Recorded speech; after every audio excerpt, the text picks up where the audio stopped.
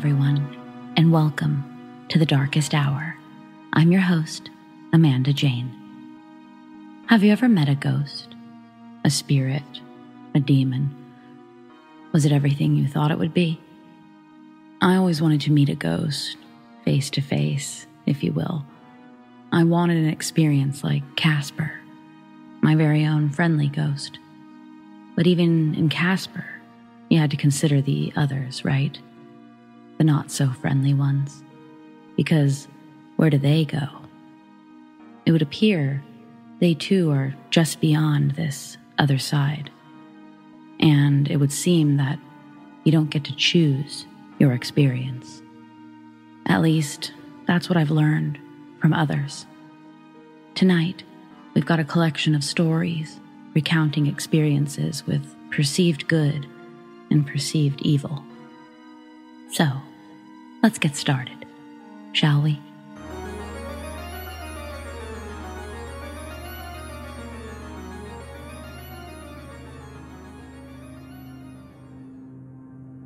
This happened to me a few years ago. I couldn't tell you why I suddenly had the urge to write it down, but here it goes. A few years ago, I was living in an older house in a small university town in northern Idaho. I'd been living in that house with three other roommates for a few years at that point. My roommates had come and gone. My mental health was an ebb and flow, just like any other person. At this point, my sister was living with me and had experienced her own paranormal things that I was indirectly connected to. But for the purpose of this post, I want to just focus on one particular experience that I had with a little girl. This particular night, I had done my nightly routine washed my face, brushed my teeth, scrolled through Instagram, the works. It was just like any other night. Eventually, I tucked my phone out of reach and I fell asleep. I woke up in the middle of the night, not completely unusual. I usually wake up once or twice during the night. It's pretty rare for me to sleep through the whole night. Usually, I just turn over and go back to sleep, like usual. But this night wasn't usual by any stretch of the imagination. There's one window in my bedroom which faces the neighbor's porch light. They very rarely turn it off, so there's always a certain amount of light coming through my window into my room. But when I woke up, everything was dark. I didn't immediately think anything of it. I mean, at some point, the porch light would have to burn out and be replaced. Honestly, it didn't even cross my mind. Something was up, though. My anxiety, something I medicated for, immediately spiked. My heart began to race, and any ounce of tiredness I had in my eyes was gone as I stared, wide eyed, at a little girl across from me, crouched by my bookshelf, only about two feet tall, maybe less, was a gray little girl. She looked emaciated her hair was almost sticky looking and matted. She was wearing a nightdress. Think Little House on the Prairie. And it was shredded at the bottom and dirty. She was crouched, almost like a frog. And it was like she was soaking up whatever light was coming from the window, making the room completely dark, except for a gray light emanating from her. If that was all it had been, I think I would have just rolled over and gone back to sleep. I had done something similar to a shadow figure over my bed previously. But it was her face. Her face told me that she wasn't some innocuous child, spirit, ghost, whatever. She was something awful and something I needed to fear. Her eyes were very large, and she had no eyebrows her matted bangs covered most of her forehead, so I could focus on her white irises and goat like pupils. If that wasn't enough, she was smiling at me. But it wasn't a sweet smile, it was a menacing, evil grin.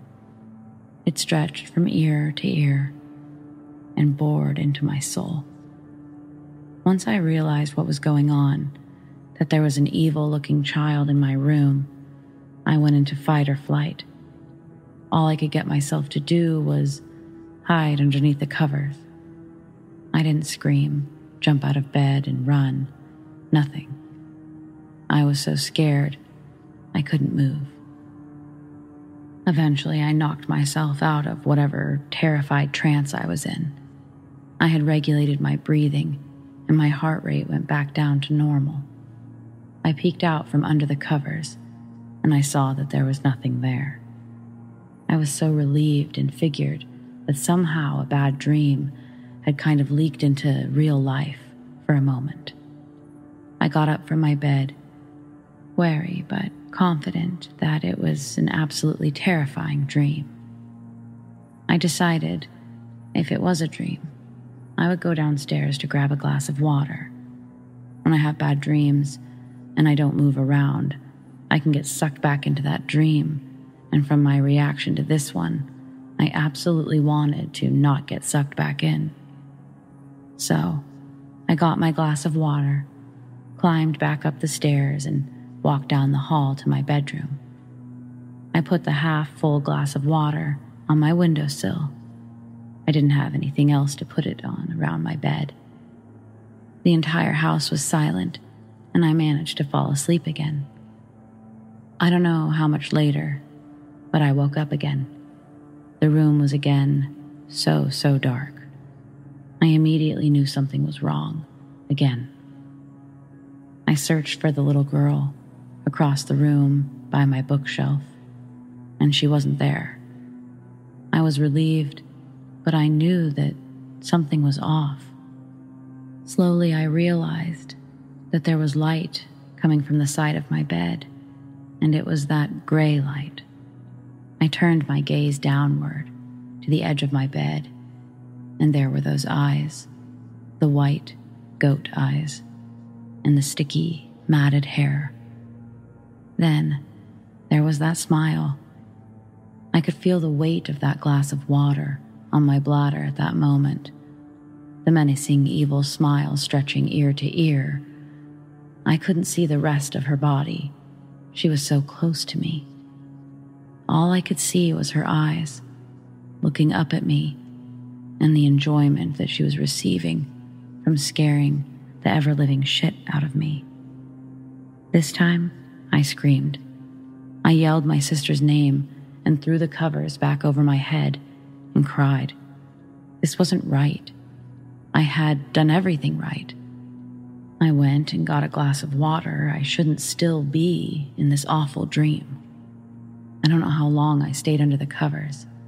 I must have eventually fallen asleep because the next morning I woke up to the morning sunlight streaming through my windows and birds chirping outside. It took a minute to remember what had occurred the night before. I immediately went to tell my sister what happened and that I was very annoyed she didn't come to my rescue. After I told my sister, I came back into my room and I noticed that the glass of water had fallen onto the carpeted floor. So I did get a glass of water. I wasn't just dreaming. I must have knocked it over when I reacted fearfully to the second approach from the girl. Anyways, that's what happened. I'm wondering if anyone else has had an experience with something similar a ghost girl. My cousin suggested it was a demon in the form of a girl, feeding off of my fear. I'm not sure about that, but I am sure of one thing. I never want to see her again.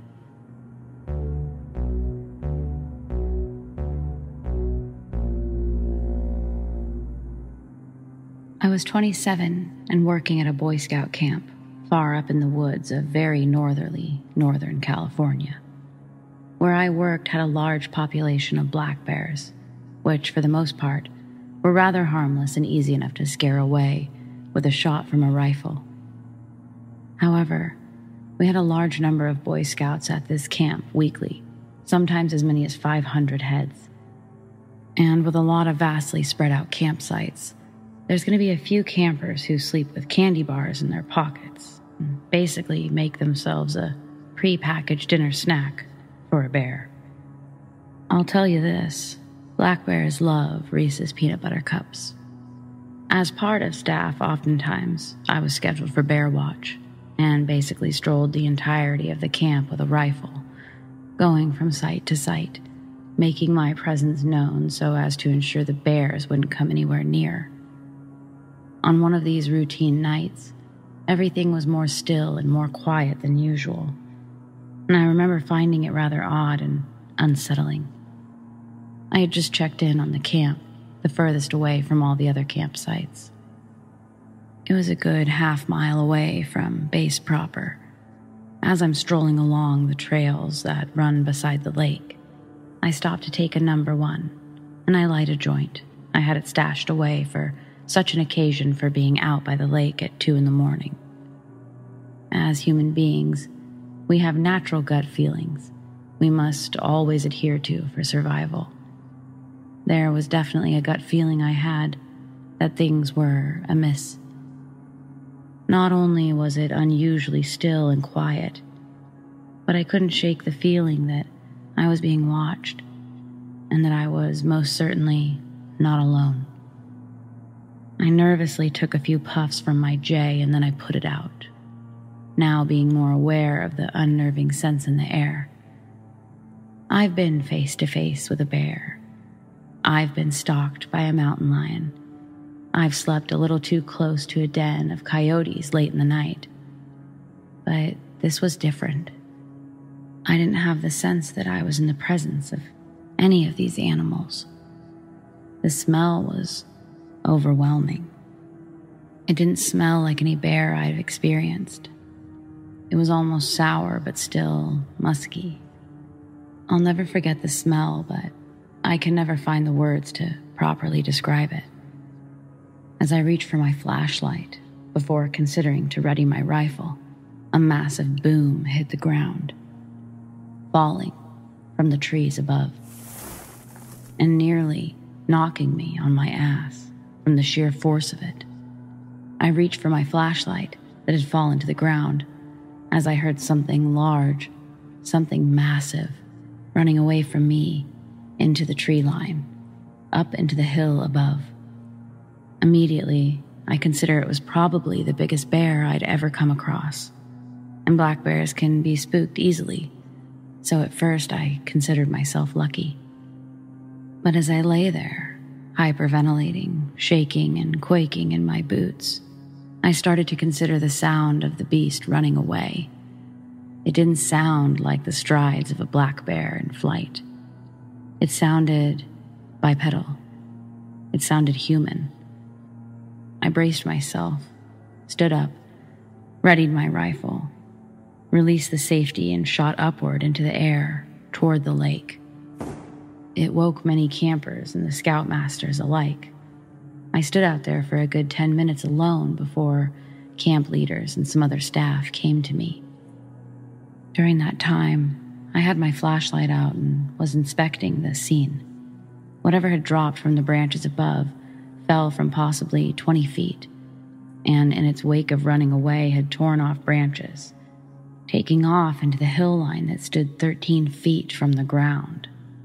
And some smaller trees were bent almost all the way down into the ground. I've never seen a bear do that, that's for sure. By the time some of the staff and some concerned campers arrived, everybody was stumped. Most campers, to comfort themselves, insisted it was just a bear. I do know this no bear running on all fours stands 13 feet tall, and no bear can run on two feet for 12 yards, uphill, on two legs. They just don't do that. We're all thinking it, so I'll just say it. I think I encountered a Sasquatch that night. If not, I don't know what it was, but I'm glad it was running away from me and not at me. Because whatever that thing was, beast or man, it was gargantuan, and I would not have stood a chance if it had decided to confront me.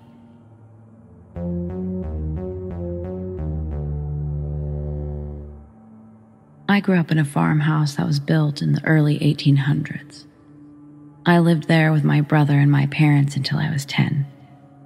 I was young, so some of my experiences seem very foggy, so I'm going to share the experiences my family encountered. A little backstory on the house. Multiple people had been killed there. A lady was shot behind our garage, and someone fell down our steps and snapped their neck. That's basically all I know about the house. It was located in the middle of nowhere, with the woods behind it, with a very old house and a garage that was visible. Our farmhouse was two stories, with a dirt basement that had walls that were still made out of lead. One time, my brother woke up late at night. His room was on the second story, facing our backyard. Outside his window was the roof of our porch, and for some reason, he opened his curtains to spot a lady waving her arms back and forth, over and over, on the roof of the porch. He was young so you can pretty much expect his reaction. My sister, who didn't live with us but often slept over, fell asleep on our couch in the living room one night. She woke up late into the night. Our living room was connected to our dining room and saw by our computer, which was right next to the couch, the apparition of a little girl who was staring at her. She didn't give me many details but said that she ran up the stairs to my room and hid on top of my bunk bed. My mom had more encounters than anybody. My mom is a very spiritual individual. She feels very connected to the spiritual realm. When we began moving out of the farmhouse, she believed the spirits became angry with her and our family. She woke up one morning where she would switch her position to face the doorway to her room, and she'd seen a dark figure staring straight at her. She claimed this felt as if it was going on for minutes, until out of nowhere, the figure leaped in one swift motion straight to her and suddenly disappeared. The thing about my childhood home is that I never felt alone. I don't know if this was a good thing or a bad thing.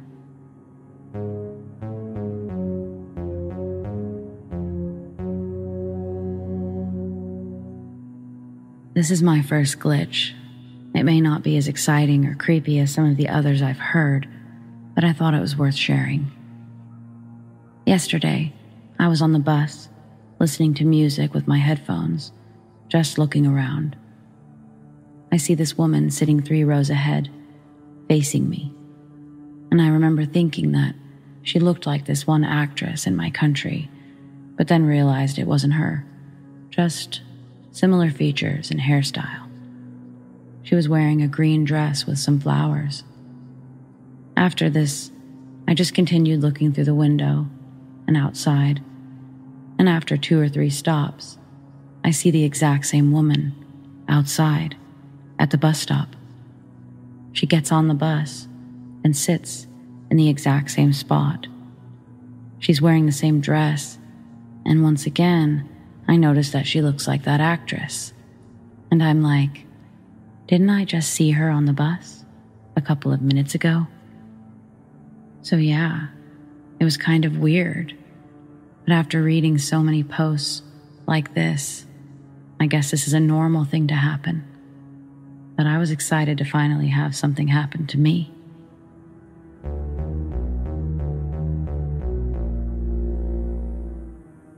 So this happened about four years ago. My dad works nights, so I'm home alone until about 2:30 a.m. most days. We live in a pretty quiet area where people usually keep to themselves. One night, at about 1 in the morning, there was a knock at the door and when I checked through the peephole, there was a young woman with a car parked near the curb in front of my house. I answered, and she looked really young, maybe 15, 16, or she just looked really youthful. In short, she looked just barely old enough to be driving. She told me that she was having car trouble and asked if I could come and check it out, possibly give her car a jump. At this time, I didn't drive. I didn't have a car of my own, and I didn't know very much about cars. So I was of little help, but offered to call someone if she needed AAA or a tow service. She declined, but kept insisting that I check out the lights on her dashboard to see if it was normal. At this point, I just didn't want to be outside with a stranger. So I politely informed her I'd be of little help because I had zero knowledge of cars. I went back inside, but I kept looking through the peephole. She opened the back door, got into the back seat of the car, and then the car drove off. It instantly made my stomach drop, and it had me extremely freaked out.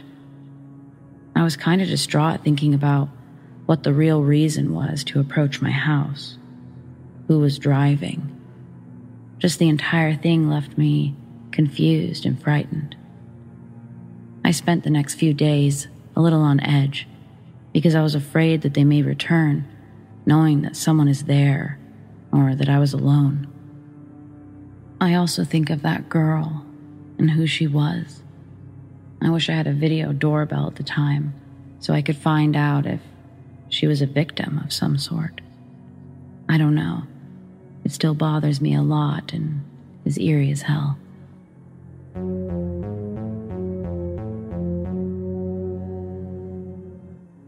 This story is about my old, haunted house.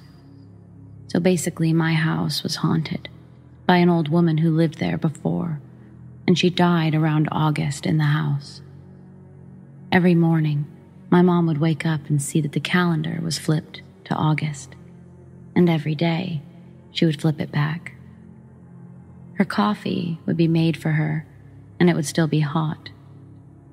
And when we moved, all of the woman's clothes were behind our dresser. Mind you, we already cleaned the house completely, including the dresser, but it was all folded and smelled like fresh clothes out of the dryer. So that was weird. But, anyways, I was playing with my cousin, and he threw my stepdad's hat at me from the other side of the bed, and it hit my face. Then I screamed in terror when I saw a white glowing hand cover my face. I threw the hat down and passed out after. I woke up, and my cousin asked what had happened. So I told him what I saw and he said he had a dream the night before of the same hand trying to kill him in his sleep. He said he didn't want to freak me out by telling me this because I have to live in the house.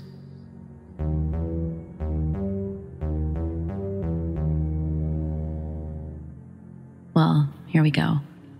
This is the story about when I started believing in the paranormal. When I was younger, I lived in a town called Kulpmont, Pennsylvania. It was one of those half houses where we owned one side and another person owned the other. I always got strange vibes. The stairs to the basement and the upstairs felt like it was on fire. I would become red every time I went up and down them. My breathing would become heavy, and at one point it got so bad I passed out. My parents thought I had asthma, but the doctors said I was healthy as a horse. One night, I was in my bedroom. I had SpongeBob on and fell asleep. I woke up in the morning, and sitting on my rocking chair was an older fella. Wet strands of hair, a stained tank top, dark, cold brown eyes, a chain wrapped around his legs, and boxers. All while he was soaking wet. He disappeared, but then I heard a dark noise from my closet and a light emulating from it. I opened it. It was my Furby. So I took the batteries out. but it wouldn't stop. It kept talking. Then I looked behind me, and there he was, the man, grinning with his crooked teeth. He charged me. I dropped to the ground, and I got hit with a sudden cold feeling. I opened my eyes, and I was soaked. I screamed. Boom. My door slammed open as my parents rushed in. I exclaimed, The devil, the devil. My mom cuddled me in her arms, and my dad was asking what happened and why I was wet. Once I calmed down, I explained everything that happened. I changed into dry clothes and was put back to bed. It was explained by my recently divorced dad that he's seen this guy before, but nothing else. That's all he said. Now, me and my mom are living together. The demon was taunting me, and fast forward to 2021. Me and my dad had a big fight after he got water dumped all over him. And then he ran at me and beat the shit out of me, which we went to court for. I'm safe now, but I'm still shocked by these events.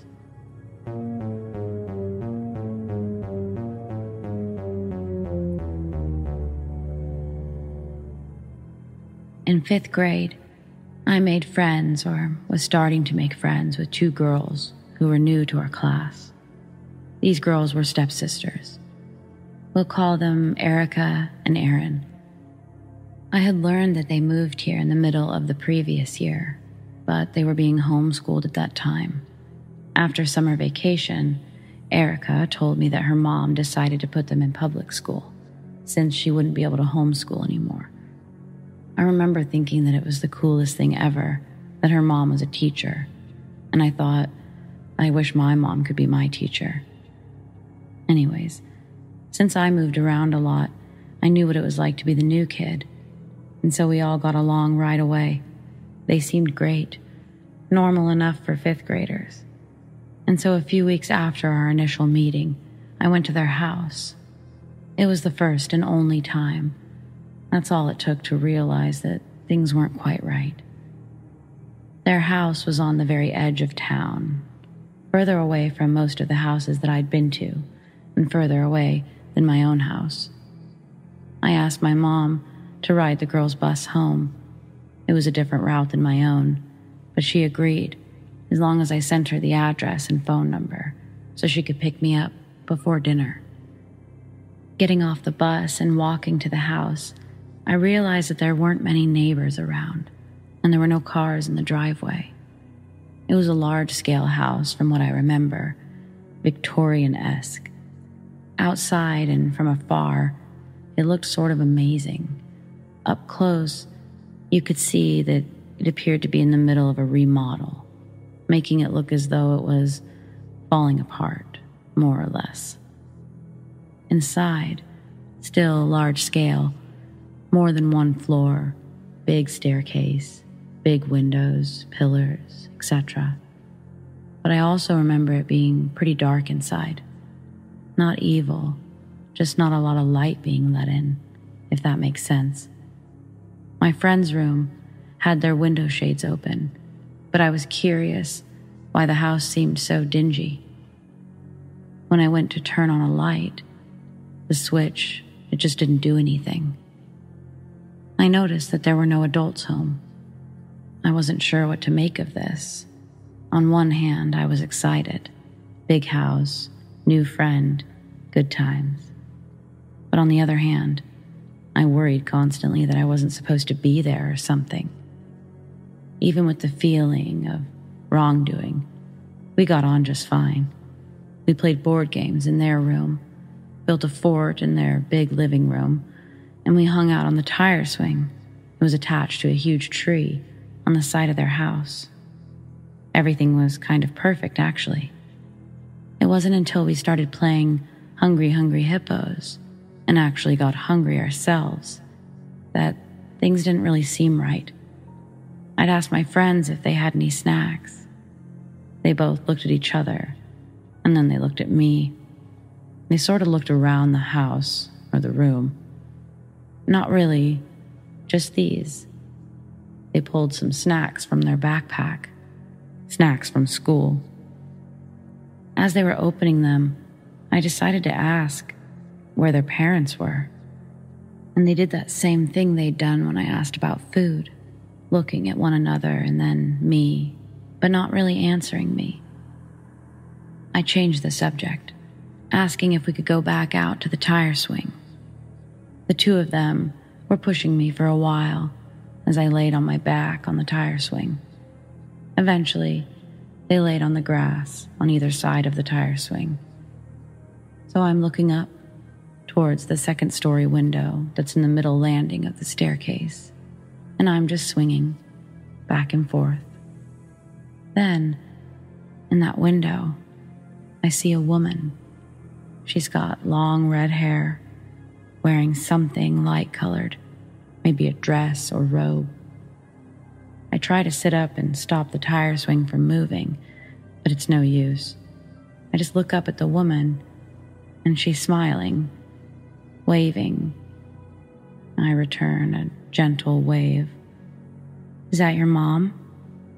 I say this and I move my gaze to Erica. Both Aaron and Erica sit up. Second story window, Aaron asks me. Yeah, where did she go? I said. She's dead. Erica says this slightly under her breath. You saw my mom's ghost. Everyone sees my mom's ghost except me, I guess. Now, being in fifth grade, I didn't handle this incredibly well. At first, I thought they were messing with me.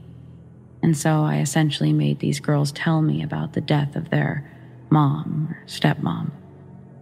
I made them search their own house with me to make sure she wasn't really there. In retrospect, it may have even been traumatizing to them, but they were gracious enough to entertain me. After all was said and done, I could find no girl in the house, no woman, no person besides the three of us. As almost dinner time approached, I knew my mom would be arriving soon, and I couldn't wait. I thought about the rumble in my stomach, and I decided I needed to ask my mom if the girls could come to our house for dinner, even if that meant telling her there were no parents here. When she showed up, it felt like she was a bit early. She saw us sitting outside on the tire swing. I told them to wait there and that I was going to ask her if they could come to dinner. Almost immediately, she got to the question of the parents. Apparently, she tried to call the phone number I'd given her, and it was no longer connected. So I told her, Their parents aren't home, Mom. I don't know why, but they aren't here and there's no food in the house. I think that was enough for my mom, since she immediately agreed and told me to grab the girls and some of their things so they could stay the night. I remember the girls staying with me for a few days. We went to and from school together but I don't remember us having any deep discussions about the situation as kids. I do remember asking Erin if she really had seen Erica's mom's ghost, and she said that she did. And she also said that her dad did too, before he left disappeared. Eventually, Aaron's mom came to take Aaron and Erica back to Utah. We stayed pen pals for a couple of years but we lost touch in middle school. Fast forward to high school, senior year, my friends and I decide that we're going to visit the old house, see if it's still there or not. We drive out there and realize there's more houses in the area now, but this house is still standing, slightly remodeled, but still standing. It doesn't look occupied, no lights on, no cars in the driveway but we just drove past to circle around. When we do, we see that the long standing tire swing is moving back and forth. Not like wind moving it slightly, but really moving like it's being pushed. but we see no one in sight. As I slow the car down, I ask my friends if we should go out and explore. Just before they can answer, I hear someone humming. I ask my friends if they're humming, and they say no, all while the humming continues. I ask if they hear it too. They shake their heads slowly, and one of my friends says, Maybe we should just get out of here. I agreed, and I start to drive away. I hear from the back seat, No way. I look in the rear view, and I can see that she's facing, looking out the back window, and I see something glowing, but that's it. Tell me that you see that couple. It has to be the same woman, your friend's mom, the long hair, the white dress. She's like glowing bright, I swear to God. I thought about turning around, but instead of stopping the car, again, I just kept driving. And I said something like, Yeah, honestly, you're probably right. Part of me thought that my friend could be messing with me. But at the end of the day, I had seen the same ghost years ago, and at times I hadn't been believed. So, who was I to be a naysayer? Years later, and I'm talking 2010 when I'm well into my 30s, my mom tells me what really happened with Erica and Aaron, what she learned during that time, and also from Aaron's mom. Their parents bought the house together shortly after getting married, with plans to remodel the whole thing part home and part schoolhouse. Both of the girls agreed they wanted to do schooling in Colorado with Erica's mom and Aaron's dad. Erica's mom was diagnosed with an aggressive form of cancer, which took her life over the course of just a few months, right before I met the girls. Apparently, the parents enrolled the girls in public school before she had passed, but once she passed away, Aaron's dad had what could only be classified as a mental breakdown. He retreated to the woods not far from their home and shot himself. Authorities wouldn't find him until my mom and a few others had called child services and the local police. She said the first night the girls stayed with us, Erica had confided that she wasn't sure of the last time that she'd seen Aaron's dad, that it had to have been a while since all of the food was gone and the light stopped working. My mom believes the girls were left to fend for themselves for weeks. I told her about the ghost that I'd seen when I was younger, of Erica's mom, and my mom said that she got chills. She said that she had to go back to the house with the officers one day to grab clothes for the girls while waiting for Aaron's mom. She said when she was in their room, she felt a really warm presence with her, like someone had hugged her shoulders. She said that she definitely didn't feel alone in the house. It's sort of a dark story, I know, but it also has some light in it, I think. The girls were reunited with their existing or surviving family. And if I think back to what my friend had said in the car that night, tell me that you see that couple maybe it's possible that they're together again, one way or another.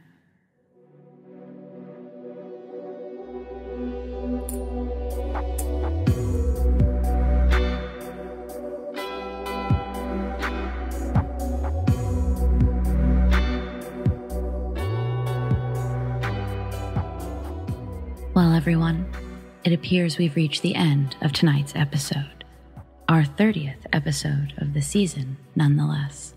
So thank you for joining me, for sharing your stories, and continuing to support the channel. If you like The Darkest Hour and you never want it to end, be sure to hit that subscribe button, tap the notification bell, and tell all your friends. Do you have stories like these? I'd love to share them. Send them to me, Amanda, darkest hour at gmail.com.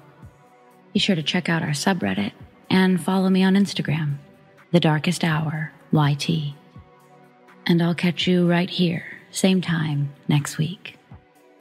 Stay spooky.